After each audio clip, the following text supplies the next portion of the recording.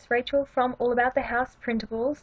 If you haven't met me before, I have a printable shop on Etsy where I sell printable planners and organization tools um, such as planner stickers, recipe binders, calendars, um, heaps of different types of printables. I also have a digital paper shop called Paper Cravings where I sell digital paper patterns. Um, so enough about me. In this video I'm going to show you how to make a business card and we're going to do it for free using Canva. So if you go to www.canva.com, create a login and then you'll be able to start designing. So Canva is really good because it comes with pre-sized templates. So it's already got a business card template. So if you just left click it also has lots of other templates like for blog images, um, collages, if you want to make um, yeah, preview images for your blog. Uh, it's got social media images size, so already pre-sized for a Facebook cover. I made one the other day in Canva. So I do prefer to use Photoshop um, which is obviously paid, but Canva is a good free alternative. It's quite similar to Photoshop. It's not as powerful, and some of its tools can be a little annoying to use, so the Align tool isn't um, as easy to use in Canva. Photoshop has a way better Align tool, um, and some of the features of Photoshop, for example, you can quickly make an ombre pattern in Photoshop, but Canva doesn't have that capability. So it really depends what you want to use it for. Canva's really good if you just want to make something quickly or you don't have access to Photoshop. So we've got our business card template that we chose. One of the things that I really like about Canva is if I'm feeling really stuck um, when I'm making a design, it's got all these free templates that you can just quickly customize. So you can change the color to suit your brand better. Um, just switch out the logo that they may have and put in your own change the font style you can really quickly change it so you could make this in five minutes if you wanted to there's so many different types um, of layouts that you can use. They're all really pretty. Remember, say you didn't like blue, you can easily just make that pink. I really like this one because I just love polka dots. So it's got the front and the back design. So we obviously want to add the front, add a new page, and we want the back. Cool, so now we've got the front and the back. So obviously my name is not, uh, my brand name or company name is not called Gypsy Swimwear. So if you just left click, you can change that. So if I wanted to make this um, all about the house, um, so printables, if I press Control A, I can then change this. I'm going to make it size um, size 8. I probably wouldn't go any smaller than 8 because that's getting a little small. If you don't want some design elements, for example, I don't need swimwear, so if I just left click and drag when you see these four arrows, I can move that out of the way click on swimwear and then click on the trash can icon. So now I've got all about the house in the center. Um, so my branding is not dark blue, it is a rainbow stripe and it's not polka dots. Polka dots are really nice and I could use that. So if you're just wanting to make some business cards to include in your packages if you sell on Etsy or you've got an online shop, then this is a really good tool to use.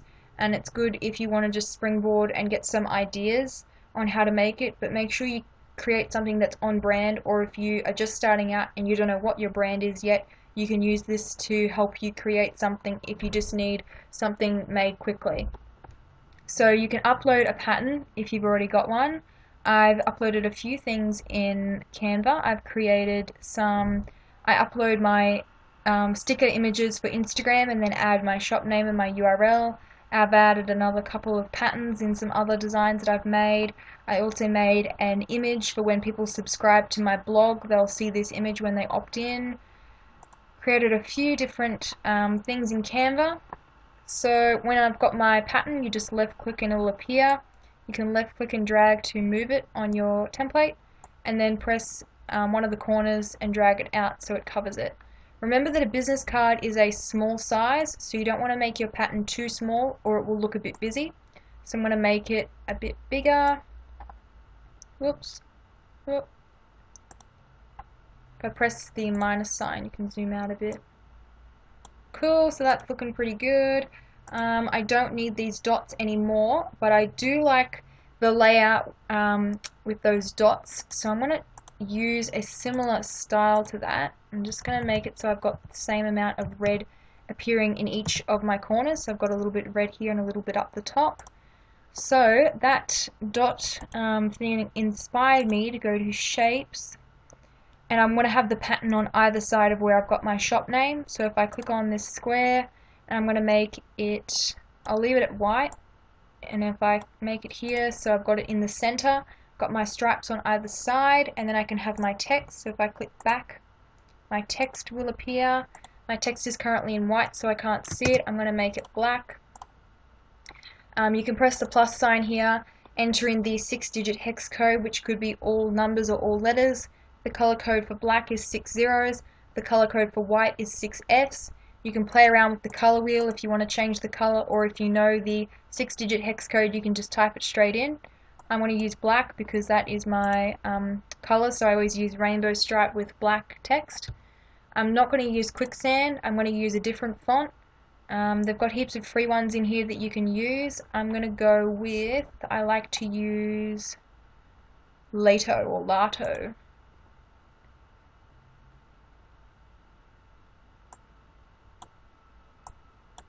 And you can click this drop down menu here. So it's aligned to the center. It's in bold. It's currently in uppercase. Um, I can untick that and it should nope it's pre-formatted. Okay so if I don't want uppercase text come over to the text and add some new text.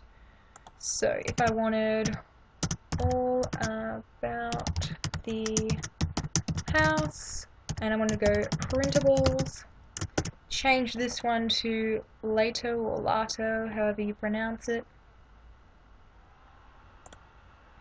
And I want to make it black. Cool, so now that I've got that, I'm just going to reduce the size a little bit and get rid of this other one.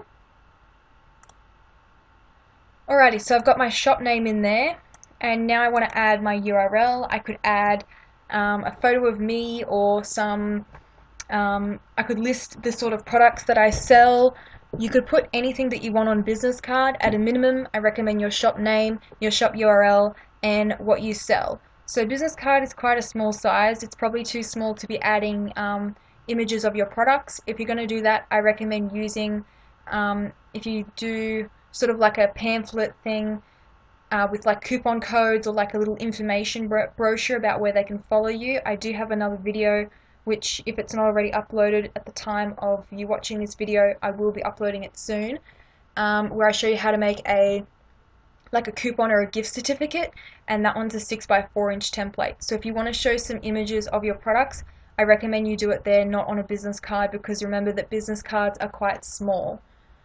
Okay, so I've got all about the house printables, then you want to add your shop URL. So if you find where your shop URL is, just left click up the top here and press Control C come back to your business card template.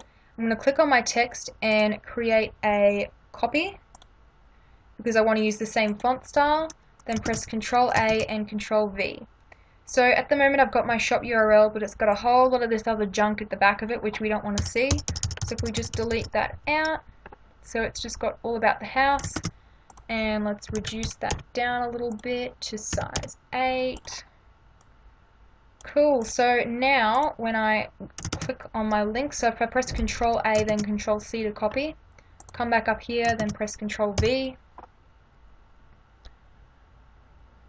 it will come back to my shop as well. It's just going to get rid of the other junk that was at the end of that URL. So don't be paranoid that you're going to lose the link and people won't actually be able to find your shop as long as you keep your shop name here then they'll still be able to find it. Obviously I recommend doing a test um, before you start printing business cards. Just make sure you test your URL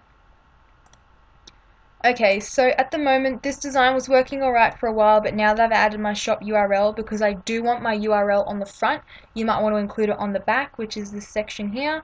Um, but I want it on the front so I'm going to flip this around. So I've got this across the middle as a banner sort and have the um, rainbows up the top and the bottom. And this is the style that I do tend to use. So I've got my Instagram. If I post on Instagram I've got my template set up similar to look like this. So make sure you're consistent. When you see these dashed lines here that are purple it's telling you that it's aligned to the center of the template which is really good. That's what we want. So it's looking a little plain at the moment. I'm going to add a black strip. So if I create a copy of my rectangle, I'm going to move it so it's a bit above it, expand it out, change it to black, and then I'm going to go back, send it to the back, behind my white banner. So I've got a little bit of a black border here, and I want the same amount of rainbow stripe to appear at the top and the bottom, same with the white. So I could probably make my shop name a bit bigger. Whoops, hit something wrong there. Big, so make it hmm, 14. That looks pretty good. Uh, my black's still a little wide up the top. Cool, that looks about even. So now on the back, I'm going to go with just a white background and black text. So here you can include any text that you want. I'm going to change it so it's I've got my Lato or Lato font. Actually, I'm just going to create a copy of that.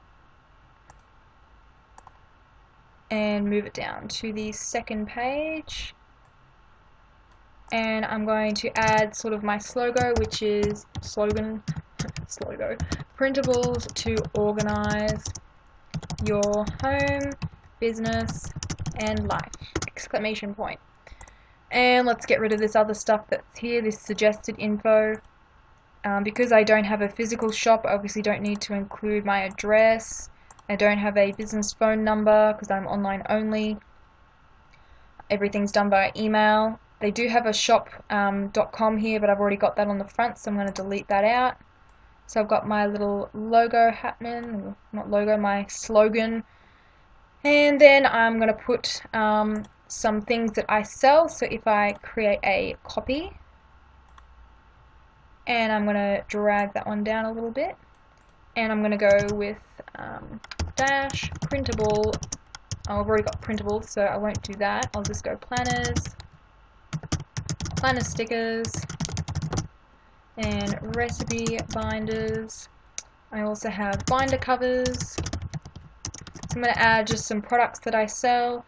I could do dashes for each of them, but I'm going to change that. So I've got all my text highlighted by pressing Control A. I don't want it to be aligned to the center anymore. I'm going to make it aligned to the left. And I'm going to left click and drag up and reduce it a little bit. So now I've got uh, one list here, so if I, I can add asterisk instead of a dash. Asterisk is just shift and 8 on your keyboard. And I'm going to make a copy of this one. Left click and drag. I've got all my purple lines appearing, so that means it's aligned, so that's good. I also sell direct sales planners and I've also got meal planning printables. I have some, hmm, what are some of the main products? Blog planner and I'm going to go with household binder or binders, homekeeping binder, whatever you want to call it. So just pick some of your main products. You don't have to include this on your business card, but that's just what I prefer to do so people know why, like what my business is. It's all good and well to hand someone a business card that says whatever your business name is, but people may be like, okay, what the heck is this? What do you sell? They may not sort of it's just a business card to them. It doesn't make them want to actually go look at your shop because they don't know what you sell or they can't remember what you sell so that's why I recommend including a couple of the products that you sell on your business card. Again, it's entirely up to you. If you wanted to, you could add a coupon code, so you could be like 10% off if you're a new customer, or you could do um, your social media links. So you could do find me on Instagram, here's my blog URL, my online shop, Pinterest, Facebook, YouTube, etc. Um, so when you're happy with your design, just make sure you go File, Save. I've kept the back of it really simple because I want the front to be like the main feature and remember that the more color you include on a design the more expensive it's going to be to print so when you do um, a double-sided business card they're not going to charge you as just one-sided they will charge you for two-sided printing wherever you get these printed, for example Vistaprint. So make sure you consider that if cost is going to be um, a big issue for you and you don't want to spend too much, make sure you keep your back pretty simple and make the front like your main feature. Then you can go download. I recommend saving it as a JPEG because then you can just upload it to a print and ship website like Vistaprint or if you Google I'm sure it'll come up with a whole bunch of other places where you can get business cards printed. That's why I recommend a JPEG. If you choose PDF, sometimes some printer companies prefer PDF to JPEG. I would just check with the website's requirements but you can download both JPEG and PDF um, depending on where you want to get them printed and again just say make sure you save it if you want to come back later if you want to update it if you want to change this and add your social media links etc to the back of your business card or you decide that you want to completely rebrand um, but you want to keep the same layout you just want to change out your pattern or your colors etc so that is how you make a business card for free using Canva. I hope you found this video tutorial helpful.